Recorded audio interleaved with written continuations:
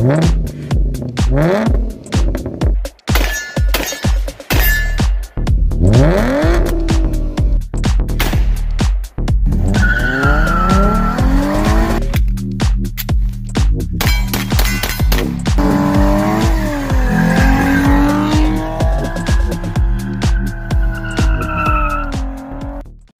right, we got another 1911 out here today, and it's another Tisas. Uh, I'll link in the description to the other Tisas video. We shot just your standard uh, pre-COVID $350 uh, Tisas. I think now they're around four or 450. Uh, but this is kind of the next one up that they offer. Uh, first of all, disclaimer: these are aftermarket grips, but man, don't they just look make that look fantastic? So this is the 1911 A1 service model. So a little spiffier. It's got a different, uh, nicer looking finish on it there. Stainless barrel really makes it pop. And uh, like I said, we threw this on here. So it comes with one eight round mag, but today we got these two Rugers out here and there's a Mec-Gar in it currently. Uh, the sights are a little different on it too.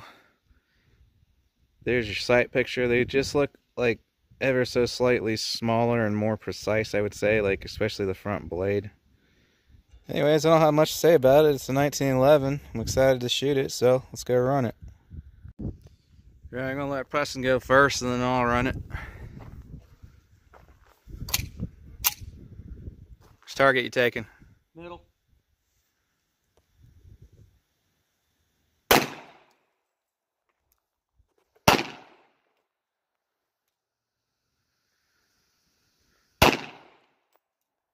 Sights are really hard to pick up on those targets.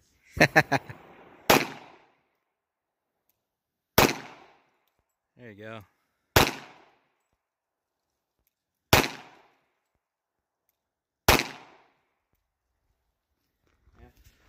So he was saying that those sights are hard to pick up against those black targets, which I've experienced that as well. When you got those all black sights like that, they're great for target shooting on like bright targets, but uh, if you're on a black target, they're hard to see sometimes.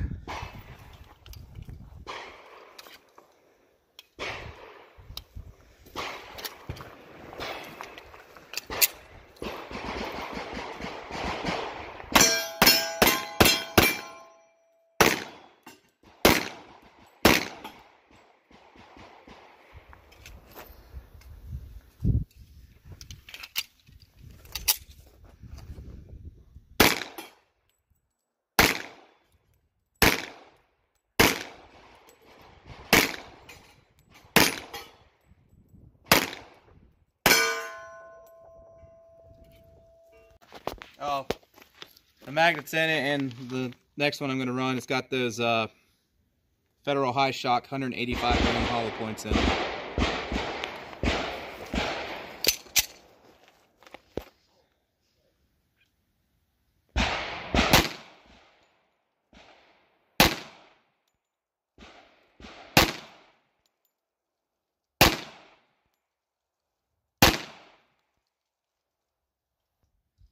I just hit the same hole down there three times? Yeah.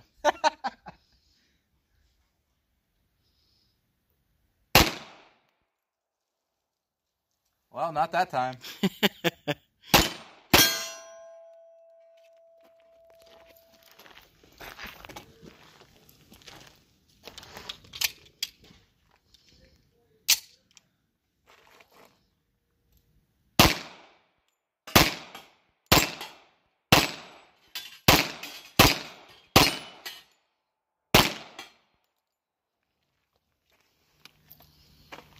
Added bullets.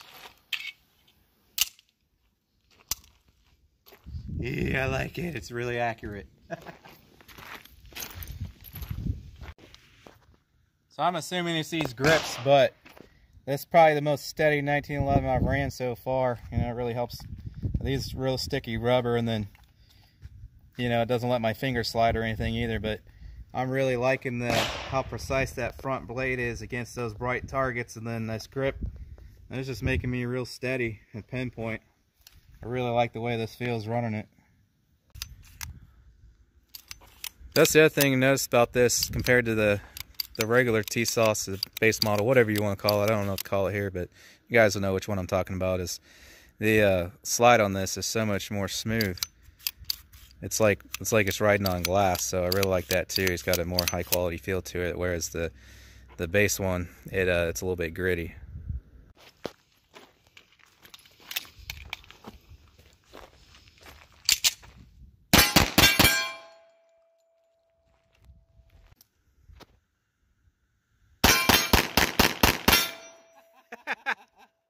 Oh, except I missed them all.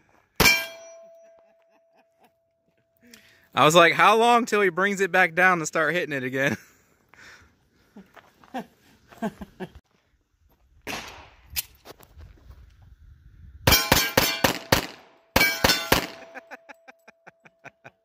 Doesn't want to stay down. Uh. See, I wasn't a huge fan of the uh, the Bear uh, Bear Basics Tisas that we featured, but I'm really loving this one. I can tell you that a big part of that's this grip, which obviously it doesn't come with. You got to add that.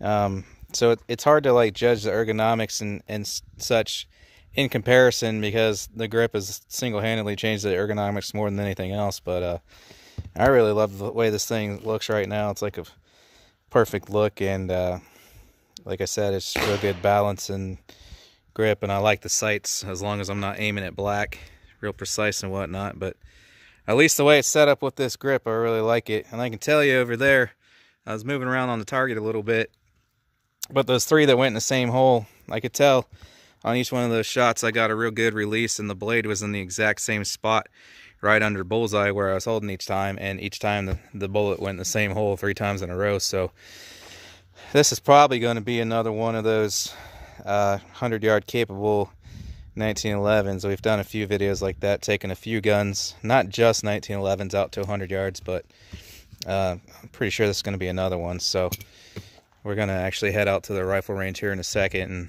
take a few shots out there. I don't know if it'll be added to this video or not, but we will see. If not, I'll definitely be featuring a long range video on it later. Yeah, that's about all I got to say. Uh, uh, I'm in love with it for the price. I mean, it it looks like a $900 gun and it seems to run about like one too. So I'm really digging this thing. I really like it. If you guys like this video please hit that like button for me. If you want to be notified when I post make sure you subscribe hit the bell click all uh, and I'll catch you guys on the next one. Thanks for watching